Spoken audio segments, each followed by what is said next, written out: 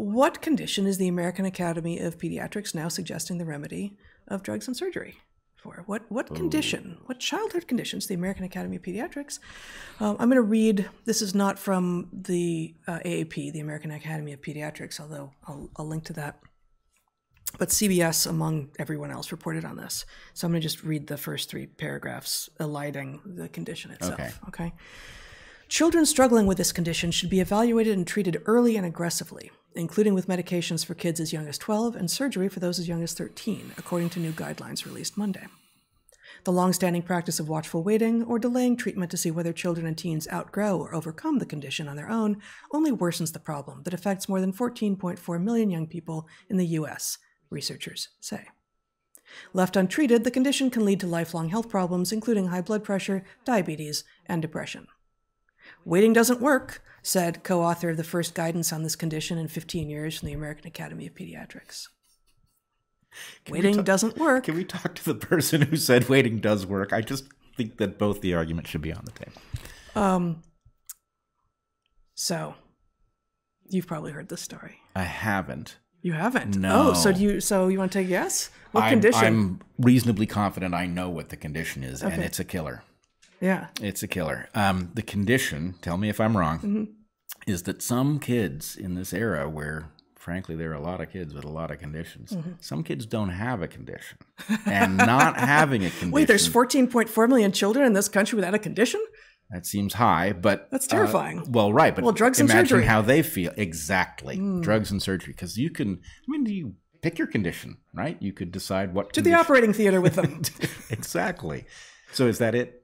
Uh, lack of condition? Lack of lack of any diagnosable Uh, Lack of condition. any diagnostic, anything wrong with them? Exactly, which would make them feel like the odd man out at school. Drugs is not too young. or woman or no, not drugs is not too young. Drugs is 12 is not too drugs is And I am not on any at the moment. that was a brief moment of channeling George W. Bush.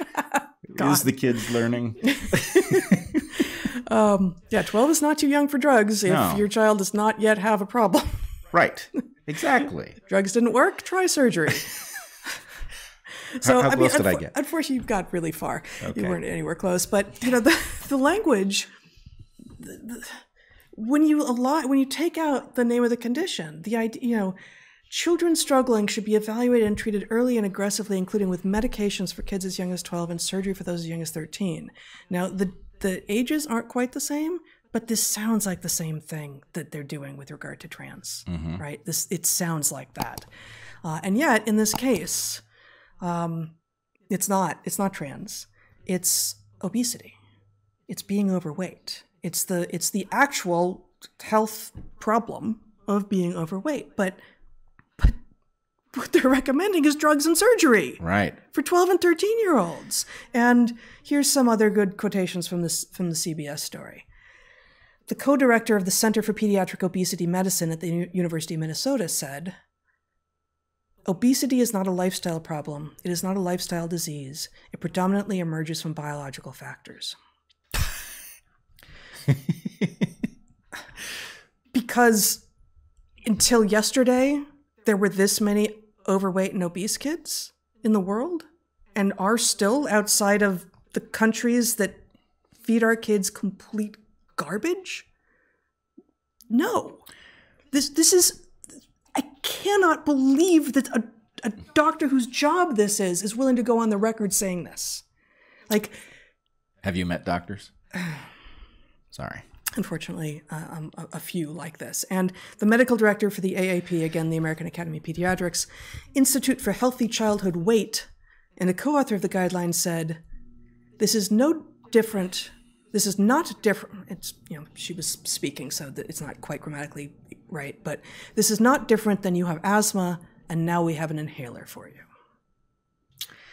Which, fascinating, right? Like, why are there so many childhood allergies now? Why are so many kids asthmatic and allergic to things?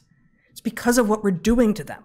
It's because of what we're feeding them and because we keep our houses too completely clean of pathogens and yet we're feeding them garbage and we've got pollutants everywhere Adjuvants. and, and adjuvants. And the obesity is the same thing. Once you know, once you're 30, and obese, and you have been since you were young, it's really tough. Like it's it's likely that you're going to have a very very hard time getting getting to a weight that would have been considered healthy for your height uh, if if you had not been obese your entire life. But children, you you don't start with drugs and surgery for children. You don't do that. No, it's it's insane, and it, the pattern is there for every one of these exploding pathologies. Right? You've got you know, we have talked extensively about the the orthodontia version of this. We, there is obviously something that we have changed about the environment of children. Genes doesn't make any sense as an explanation, so it's mm-hmm. obviously something that we are doing. And the implication is, if it's something new that you're doing, it's something you could stop doing. Right. Right. Um, now, in the uh, in the case of obesity, how insane is it that we're going to studiously pretend that the right thing to do is drugs and surgery for children who, frankly, maybe it's too late for them, but it's not too late for the children who haven't been exposed to whatever it is yet. And we are not, here's what we're not going to do we are not going to go after the ability of corporations to study the psychology of children and to induce them to eat more than they would otherwise eat and eat different things than they would otherwise eat, as if that's not an obvious suspect in the, the question of why childhood obesity is rising, right? We are, we are actually allowing corporations to induce children into self harm, right? This is as bad as allowing them to molest children, right? You are we are harming children. They will their whole lives will be affected by this. And we are not looking at the obvious culprits that we could obviously do something about without touching the kids, right? You could just simply say, look, yeah. I mean, I, I've made this argument not for just for food, but I don't think advertisers should have any right to advertise to children. They shouldn't have the right to study children, right? It is our obligation to protect children we don't have any control over the ability of an advertiser to get into a kid's mind. Why are we letting them do that? Yep. Right? You wouldn't let a stranger on the street who, you know, was trying to con your kid to talk to them. So mm-hmm. why are we allowing them to do it through screens? It makes no sense. No, it doesn't. Uh, I cannot show my screen. Is that right? Okay, that's fine. Uh, the clinical practice guideline for the evaluation and treatment of children and adolescents with obesity is an interesting document. I have that's that's the thing that came out this week that everyone's reporting on. Um, I haven't read all of it, but just just the little blurb at the top of the page reads the first sentence. 14 million US children are affected by the serious and complex chronic disease of obesity. How would you define disease? Yeah. I don't think I think that actually just worked, Zach. I saw my screen jump around. Yeah, I bet it did um, I don't metabolic disease, right? Like in adults having had a you know a developmental period during which they were taking in a lot of sugar and synthetic crap, and um, no, you don't need to anymore. Um, and uh, and you know becoming less active and you know their their physiology changed with their diet and activity level through their childhood and adolescence and upon becoming adults. Metabolic disease may well be the right term here. And i didn't actually look up disease what other people think disease means but um, this strikes me as you know the complex serious and complex chronic disease of obesity. That i feel like part of what that is doing is once again encouraging people to uh, take the control away from themselves. Well, I can't do anything.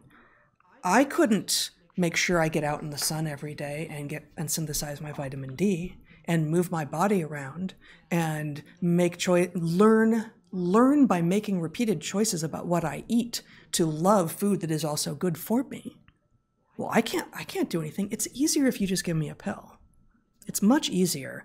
And if I hear that it's a disease that I've got, then that changes the conversation. Nothing I can do, it's a disease. As opposed to, you know what, you're a kid. And you are not, this is not your fault, but you can still take responsibility. And your parents should definitely take responsibility. And they should keep you away from the doctors who were looking at these guidelines as much as possible. So, at some level, it's just a charade, right? You've got an industry selling food that has a uh, perverse incentive. You've got an industry selling pills, which has got a perverse incentive. You've got an industry selling surgery that's got a perverse incentive. And there's no industry uh, of leave kids alone in a healthy environment that doesn't make them sick. Right. right? They don't have lobbyists. There's nobody on that side. And so the thing that is increasingly infuriating to me is the pretense that this is about science and medicine and study and consternation about illnesses that children are suffering. It's not, right? This is somehow about business. And the problem is mm-hmm. the people doing it don't even know that, right? I'm sure even in pharma, they go to work and they think, well, there's a biological problem called obesity in children. And by gum, we got to address it with some some molecules, right? Mm-hmm. Um, and there is nobody. I mean, like, you know, there used to be medicine, right? There used to be doctors who had a scientific bent, who solved problems, who puzzled through what was making their patients sick, figured out what things might work for them. And there were things like a second opinion, right? maybe I don't want a medical establishment in which every doctor agrees to what the CDC said. Maybe I want two doctors to disagree and I want to listen. No, but it streamlines the process because there's no need for a second opinion because you know the second, third, fourth, and nth opinion will all be the same. Therefore, you don't need them. Right. No. So it, it does mm-hmm. streamline the process. Hey, doc, these check boxes, what do I take? Right? Mm-hmm. It's that. There's also essentially no advocacy. I can't remember the last time I heard anybody say that an ounce of prevention was worth a pound of cure. Because, you know, an ounce, an ounce of prevention is a breach of the fiduciary responsibility to shareholders, right? Prevention, how are you going to monetize prevention? Treatment, that's where the shareholders get their, their value. Pharmaceutical companies, not for doctors. Well, right? even doctors running a practice who encourage uh, whatever they're called, the, like the regular healthy checkups or whatever, yep. like you know, or an- annual exams even, but also just oh, you know what, uh, you know, you're pre-diabetic, you're pre like this, like it, it would be great too. Just have a sit down and have a face to face, you patient, me doctor, every six months. Like you know that that doesn't sound like a breach of fiduciary responsibility, whether or not the doctor is working for a hospital or their own practice or whatever. Like if you're encouraging you know, encouraging patients to come in for office visits and actually develop a relationship with them. You know, are they going to be sicker sooner and therefore require more drugs? No, but that's a good thing. Right? Well, I agree with you. There's no doctor corporation, and I'm sure what I don't know about how HMOs and all of that work, you know, is uh, is a, a, place where a lot of stuff can be hidden. Yeah. But um, but at the very least, the doctors are captured by something that has fiduciary responsibilities that we don't understand yeah. all over the place. Yeah. And uh, I mean, this pandemic diagnosed the system, and the diagnosis was, you know, it's got a terminal illness, right? And that terminal illness will cause it to reverse the labels on cure and poison, mm-hmm. right?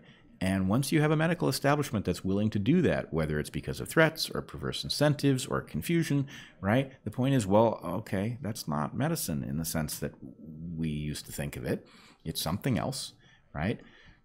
Uh, pharma isn't in the business of making people healthier, right? It's not surprising that pharma figured out that that's not where its but its bread is buttered.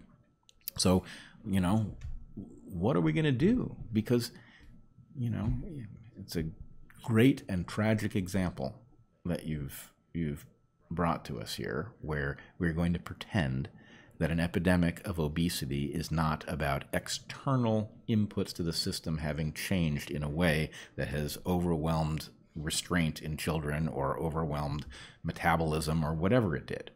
It predominantly emerges from biological factors said the co-director of the Center for Pediatric Obesity Medicine at which, the University of Minnesota, which is both true at a trivial level and so far misses the mark in terms of what a doctor in a position like this needs to be thinking about and must know.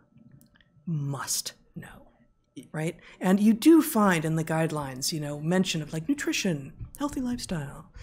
Uh, but, you know, the big thing that made the headlines and that's new here is uh, recommendations specifically identifying the youngest age at which you should start on drugs for 12 year olds who are obese if everything else has failed, and surgery for 13 year olds who are obese if everything else has failed. And I'm not even sure the if everything else has failed language is in there. I, I want to give them the benefit of the doubt, but I'm not even sure Right. that's how they've framed it. Okay, but we, we got to separate these two things, right? Because it comes up in every one of these cases. Mm-hmm. They're the people who have already been affected, who may indeed have a permanent problem, a developmental impact on their metabolism that causes them to have a lifelong issue that we have to deal with somehow, mm-hmm. right? And then there are the people who haven't been hurt yet, an indefinitely large group, right? All those who have yet to be born, who when they are born will either be exposed to the factor that made these other kids fat or they won't, right? And so we haven't hurt them yet. The amount of good you, even if you were stuck with a bad situation for kids that have already been affected and there's nothing you can do for them that really works, the amount of good you can do by not doing it to anybody else is is indefinitely large. And so why aren't we focused there? And why, I mean, even that statement that you read, can you describe a scenario? I'm not asking for something that is really true. Can you describe a scenario in which an obesity epidemic in children is not primarily happening with biological factors? I mean, It's a fat suit. it's a fact- it's a it's a mirror with a bow in it, right? Yeah, Those it's, a, not- it's a. It does feel like a hall of mirrors. It feels like a hall of mirrors. Maybe mm-hmm. it's all halls of mirrors. Maybe there are no obese kids and it's just a, an illusion. But short of that, you know what obesity is made of? Lipids, right? You know how lipids get into the body? Metabolism. You know how metabolism happens? You eat stuff. You know what you eat it with? You masticate it with your teeth. And all it's all Biology all the way down. Right. Yeah. What else would it be? Right? They, the person has, has like put on a lab coat and said a tautology, and everybody's like, oh, yeah, that's wise. Well, but I mean, it also. I mean, this. I mean, we, we could. There's a whole dissertation to be had in unpacking this really ridiculous statement that seems so simple and was said with such assurance. Obesity is not a lifestyle problem. It is not a lifestyle disease. It predominantly emerges from biological factors. The first two sentences in that three sentence statement are not true for Right. children. And um, you know, once once you're stuck in it, it likely is. Um, but the third sentence, it predominantly emerges from biological factors, is a non sequitur, which is placed at the end of these other two sentences as if it is a rejoinder. No, it's not a rejoinder, it's a non sequitur. They're different. They have no relationship to one another. Obesity does stem from the crazy hypernovel lifestyle that we have pushed actively on everyone for the last n years. I don't even know what to call it, right? But you know, it, you know, starting sort of, I don't know, starting, but you know, ramping up after World War II. How about? Yep. And it predominantly emerges from biological factors. Oh, that does sound science. Yeah, it sounds science. Okay, well then, oh, let's do science then. Oh, a pill. Uh, which factors? Which factors? Uh, well, for example, uh, the big gulp. Uh, that's one. Another big thing is like the Mac. the big ma Yeah. Look for uh, alphabetically. A lot of the factors are under uh, under B.